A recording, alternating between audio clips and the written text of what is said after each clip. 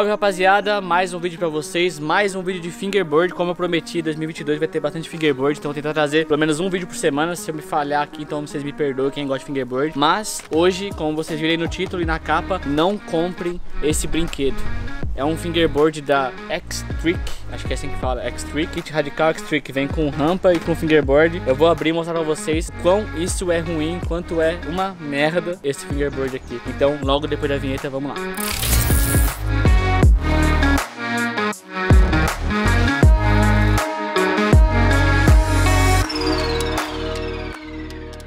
Rapaziada, vamos abrir esse kit aqui. Lembrando que é um produto muito barato, porém não tem uma qualidade. Então, quanto mais barato você comprar um produto no fingerboard, seja o que for na vida, a qualidade vai ser inferior. Então, não tem como você comparar um fingerboard desse com um fingerboard profissional que tem a prática já pro fingerboard mesmo. Então, vamos abrir. Isso aqui é um brinquedo para galera ter o primeiro contato com o fingerboard. Mas eu vou mostrar o quão isso aqui é ruim, porque não tem mobilidade, não tem nada. Então, vamos abrir aqui agora. Tirar daqui do plástico.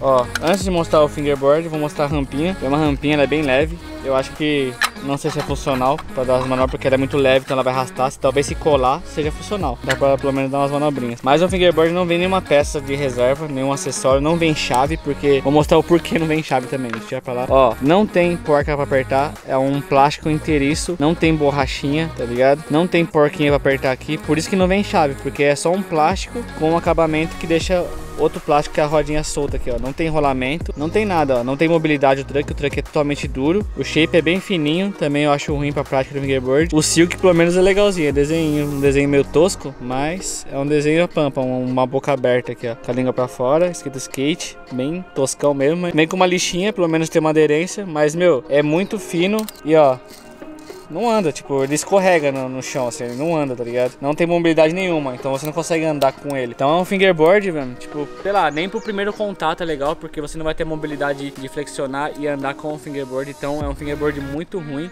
Em outras palavras, é uma bosta. Resumindo, parafusinho de base só vem um aqui parafusado de cada lado, ó, pode ver que tem uns que não tem parafuso de base aqui, tipo, do lado, de um lado do outro, é só em, em, assim, de lado pro outro, pra travar, pelo menos. Muito esquisito, tipo, o shape é um plástico porcaria, é o mesmo, mesmo plástico que usa para fazer um tech deck, só que a qualidade é bem inferior e é bem mais fininho também. E o tail nose quase praticamente reto, não tem uma um concave, não tem lateral nem nada. Cara, é muito ruim. A única diferença desse fingerboard para aquele que eu fiz do pior versus o melhor que tá disponível aqui no card é que esse pelo menos vem uma lixa, aquele lá vinha sem lixa. Também é da mesma marca, acho que é da X-Trick também, se não me engano.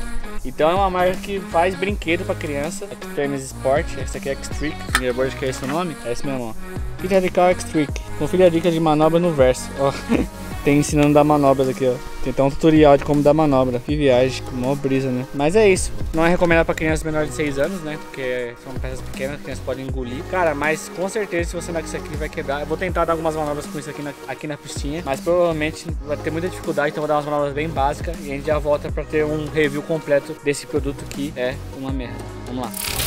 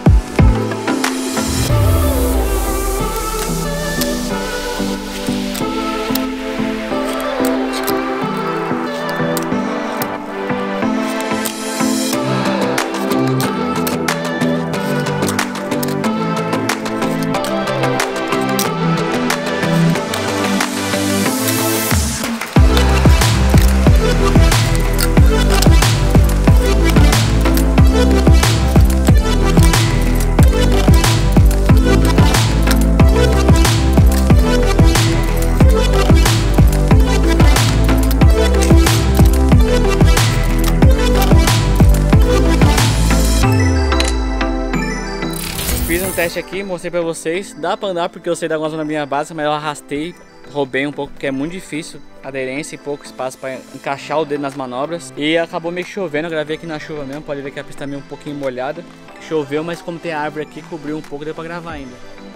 Então deu pra fluir pelo menos a rolezinha aqui pra testar. Mano, não tem mobilidade nenhuma. Parece que eu tô andando só com shapinho assim, um pedaço de ferro. Parece que não, sei lá, tipo, é só um shapinho que dá pra pelo menos bater, tá ligado? A rampinha não serviu de nada, só coloquei pra zoar porque ela é muito leve e não tem como você rampar, ó.